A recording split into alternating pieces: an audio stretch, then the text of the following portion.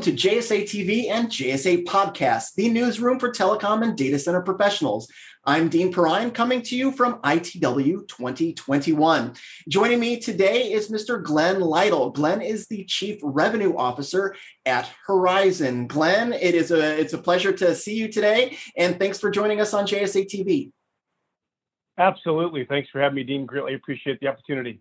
You bet, you bet. So we've got a lot to talk about, but before we jump into the meat and potatoes of our discussion, why don't you tell our viewers that don't already know a little bit about Horizon?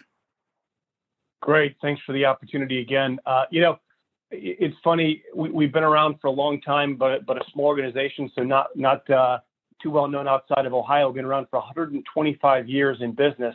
Uh, we're a facilities-based fiber network uh, operator here in uh, in Columbus, Ohio we've got about 5,000 route miles of, of network, again, focused primarily in, in central and southeast Ohio, but we've we've stretched out into Dayton, into Indianapolis, so continuing to kind of grow that water stain, providing voice data and internet products, um, you know, throughout that footprint. Outstanding. So I'm a Midwesterner myself. I'm in uh, Northwest Indiana. So as a Midwesterner, I love to hear about the things that are happening in my region of the world. But um, let's talk a little bit about that. Um, you made some significant headlines um, earlier this year by expanding that pure fiber optic network across the Midwest. So why don't you tell our viewers a little bit about that network expansion? Absolutely. You, you know, we're, we're really fortunate in that we're even talking about expansion during these times, right? I mean, it's it's certainly been uh, uh, an interesting couple of years. So I'd, I'd say we're we're certainly uh, in a great position to have a partner like NovaCap that it's enabled us to uh, to expand and, and grow both organically and via acquisition. Uh, you know, so we were in a pretty unique situation in that uh, one of our larger um, customers, a wireless provider, uh, had a small cell deployment out in Dayton, Ohio. Uh, and so again, a year ago, we had no plans to be in Dayton and flash forward to August of, uh, of 2021. And, we've got an entire footprint in downtown Dayton built out in supplying services there. So again, kind of an organic growth model with expansion in that regard. But then also, you know, certainly from an acquisitions perspective, uh, we've gone heavy into some markets as well. So we recently acquired a company in Indiana, uh, Infinity Fiber. And so we've got some unique assets that came along with that, connecting us from uh, some of the existing assets we had in downtown Indianapolis uh, up through South Bend, Indiana, and then into uh, Cermak in Chicago. So, you know, some some really interesting opportunity and, and unique routes that come along with uh, with that footprint. So again, uh, you know, a kind of a double-edged uh, sword there, g- growing organically and, and also from an acquisitions perspective. Yeah, outstanding. Congratulations. I'm sure that route goes right through South Bend or through South Bend into Chicago, right through Valparaiso, Indiana, which is where I'm located. Yeah, there you go. That's right. Yeah.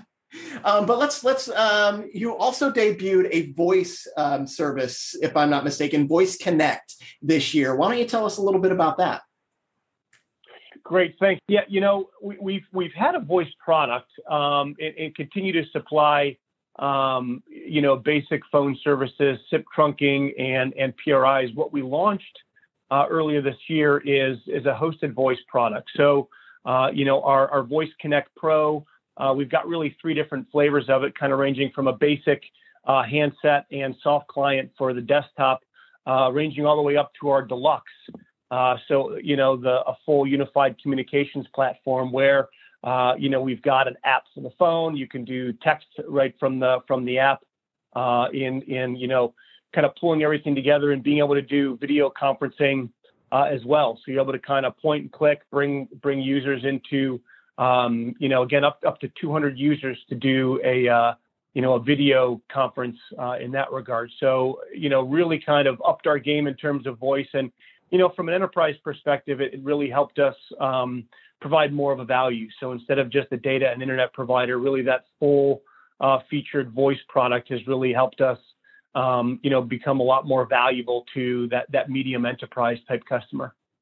Yeah, I imagine with a distributed workforce being uh, kind of the name of the game over the last like 18 months. So I imagine that's a very valuable service to the to those customers. It, it came at a perfect time. It came yeah. at a perfect time, Dean. You know, we were we were kind of working on it, and then I think as as we all went to a, a, work from home environment on our own, it really helped us kind of ramp that up and and really put that in the fast track. So it's it's really been a great and very popular product for us. Outstanding! Congratulations on that as well. Um, but what's next? Why don't you tell tell us a little bit about uh, what we don't already know about uh, about Horizon? Yeah, you know, uh, I'd say a, a, lot more of the same. Uh, you know, I think we found a good recipe here um, that includes a steady diet of, of, like I said, growth expansion, both uh, organically and uh, and through acquisition. So we've got a few more acquisition targets that we're working on right now. That uh, maybe by the time we get to the conference, we'll be able to announce some some exciting things there. But um, you know, for us, I think it's it's it's growing both from a network perspective as well as product set. You know, I think you know as we continue to grow the fiber footprint, we find that you know our customers are certainly just as interested in in growing the um, the product set with us as, as, they are growing the reach. So, you know, continued to look for those um, opportunities to build out the network, use an anchor tenant to possibly you know reach into a new city and and uh, and grow in that regard. But also looking for small tuck-in opportunities to acquire some network outside of our footprint and you know kind of grow the water stain, as I like to say, of of network. And so, uh, you know, I think it's again, it's a steady diet of of uh, of organic and uh, and acquisition growth with both network and product. Outstanding, Glenn. Uh, um, thank you for for being with us today. Um, for our viewers that want to learn more about Horizon, where should they go?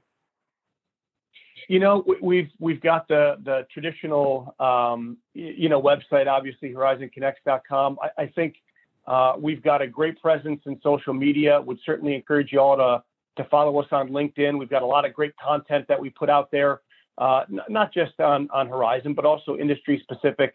Uh, follow us with our with our newsletter, and then we do a monthly uh, webinar series, which is fun. You know, we've got we've had the Columbus Blue Jackets on. You know, kind of hearing from their perspective what what they do from an IT um, infrastructure, getting ready for a game, game time, uh, that kind of thing. We've had uh, healthcare panels uh, data center panels. So really try to mix it up and and uh, and get a good um, kind of array of of content. So certainly you know social media big, and and then following us on uh, on LinkedIn and uh, in the webinar would be great.